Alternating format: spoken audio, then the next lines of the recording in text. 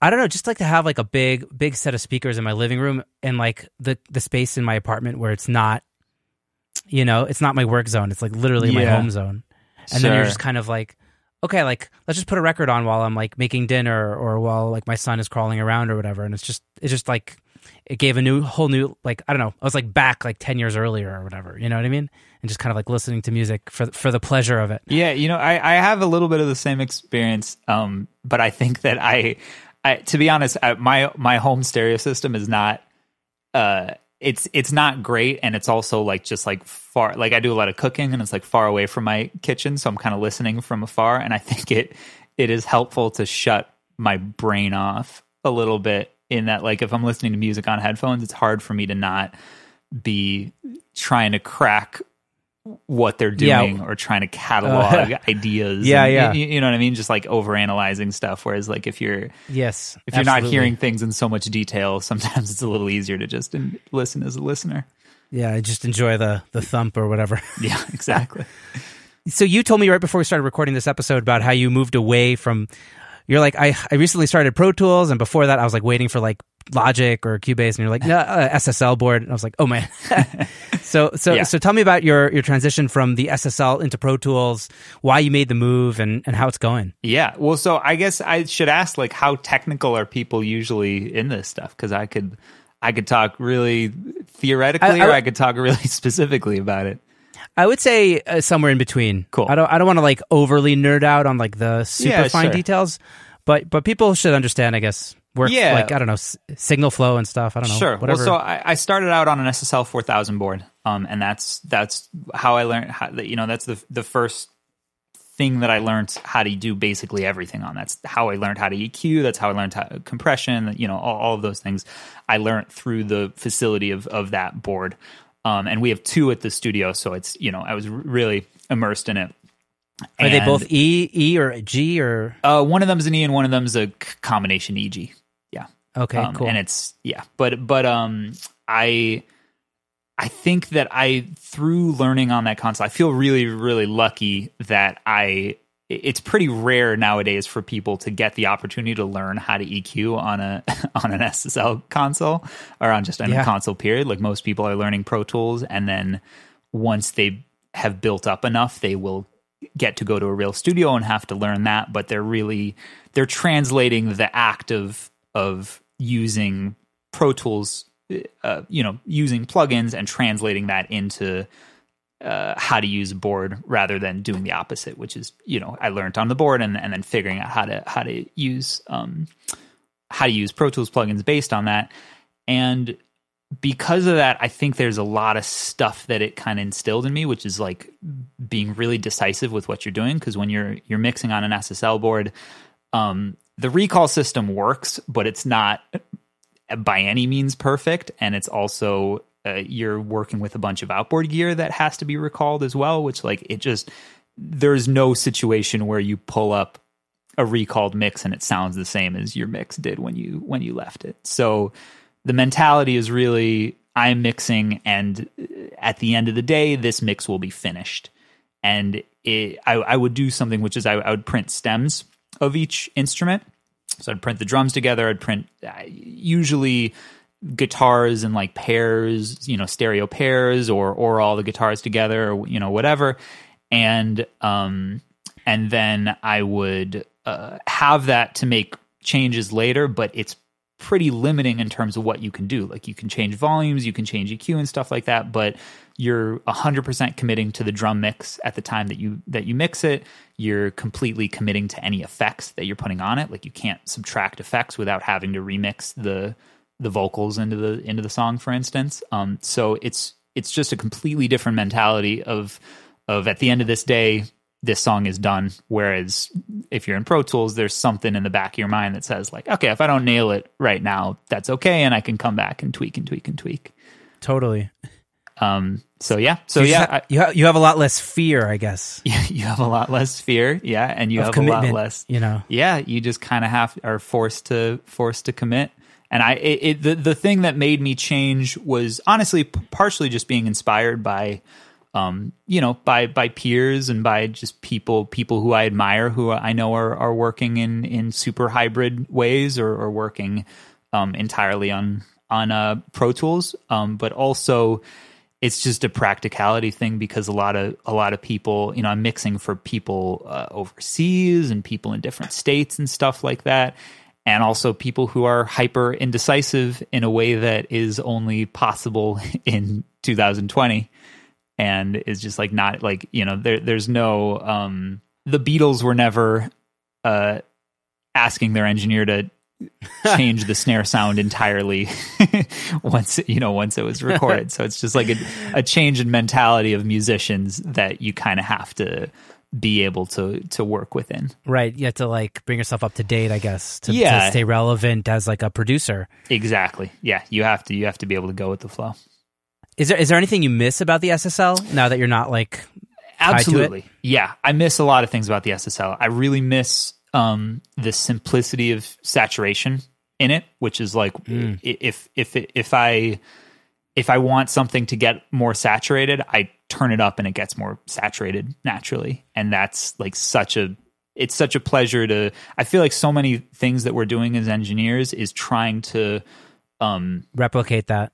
Trying to or, or even just trying to get rid of the um, any barriers between what you're feeling in your head and what you are making happen in the music right? So like if if there is if you don't have to pull up any plugins and choose which plugin you're going to use and do all this stuff you can um, just turn up a fader and i feel like there's a, a ton less left brain involved in that and so there's a certain flow that saying. you can kind of get into with and and it also like you can um like if you're EQing on an SSL and you've been doing it for for the amount of time I've been doing it you do it with your eyes closed basically. You know what I mean? You know physically where the knobs are and you're not really worrying about what the meters read in terms of or what the what the knobs read in terms of how many decibels of something you're adding. You just keep adding it and it just makes it really music it's a really musical way to work. It's it's all instinct based see, and yeah. there's no you know I, there's certainly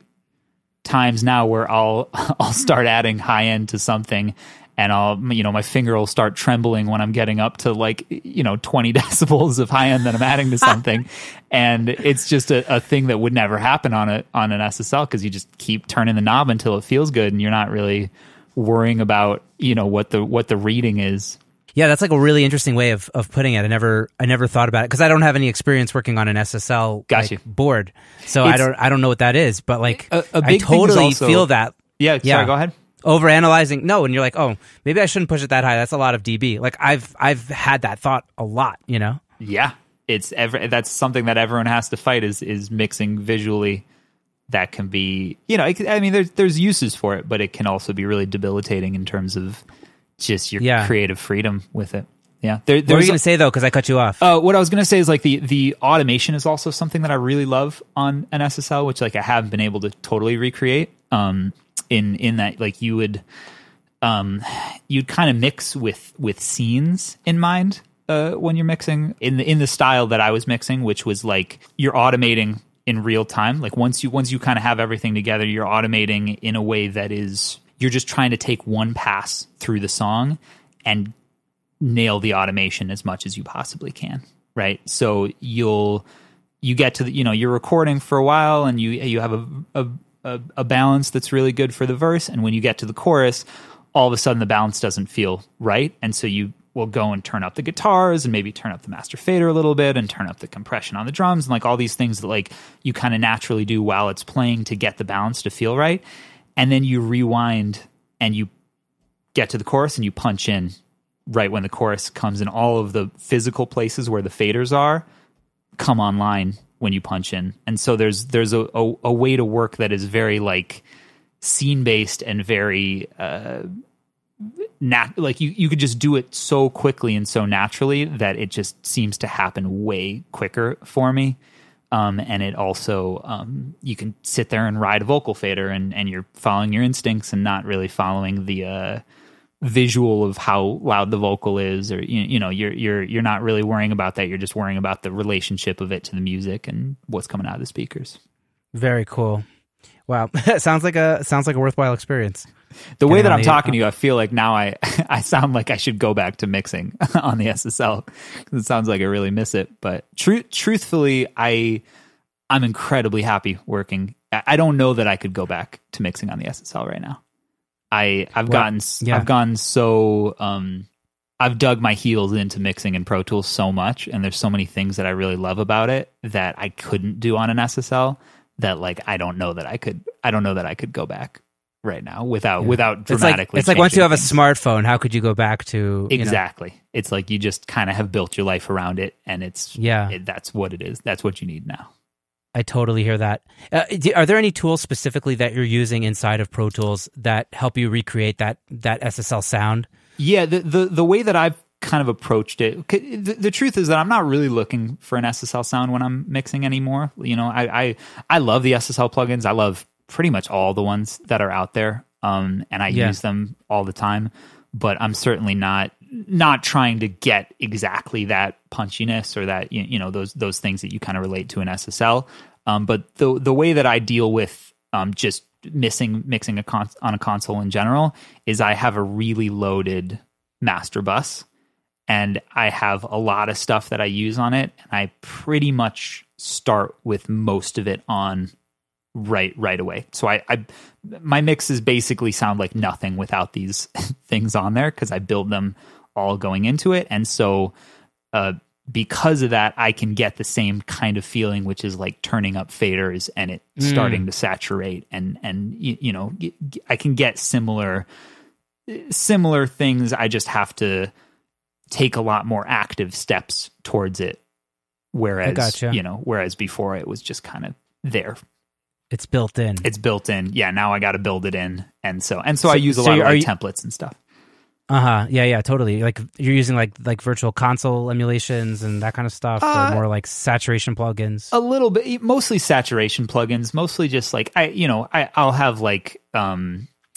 you know a a, a Pultec on my master bus for instance which is like you know doing a little bit of like a smiley face thing. And but if you turn up into those plugins they'll start to act like a Pultec will act in a, in a lot of ways you know? So so and i have a few different things that are that are doing that. I really like the like oxford inflator. I'll, I'll use that a bunch of times on mixes and and um yeah and tape you know tape plugins. I like satin a lot and things like that that'll just start to start to react harmonically when you push into them and also st- you know and like tape machines start to react dynamically a little bit too Nice. That's awesome. Yeah. Do you have any practices to stay fresh and creative in your workspace? Like everybody goes through the doldrums uh, occasionally. it goes oh yeah you're saying just just when you're kind of stuck Yeah. Yeah, I the the thing that I try actively to do is I try to not use the same tools as much as I can. Right? So I have things that I know will work and there's a lot of times when I will actively not be using them um, because I think there's something really positive about making a mess for yourself to clean up. Like that that I think makes more interesting music and there's um you know, I just recorded a song a couple days ago and I we were going for just kind of weird off kilter tones and so I was using headphones to record the toms, just headphones sitting on the toms and I on purpose did not I had put up mics that were my backups if I if it wasn't working.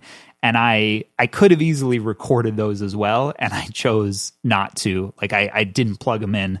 They were just there as backups specifically because I wanted to force myself into a corner that I had to kind of fight my way out of. Um so that I so that I couldn't just rely on you know I've been doing it long enough that like I know I can make some toms recorded with 421 sound good you know but like it's but whether or not I can make them sound like no toms you've ever heard is a completely different story and that's what is exciting to me. That's what's interesting to me. So so I think that's the kind of stuff that kind of keeps you on your toes is just constantly being fearless with it and trying to make make messes for yourself and not take specifically taking away tools from yourself in order to force yourself to be a little bit scrappy.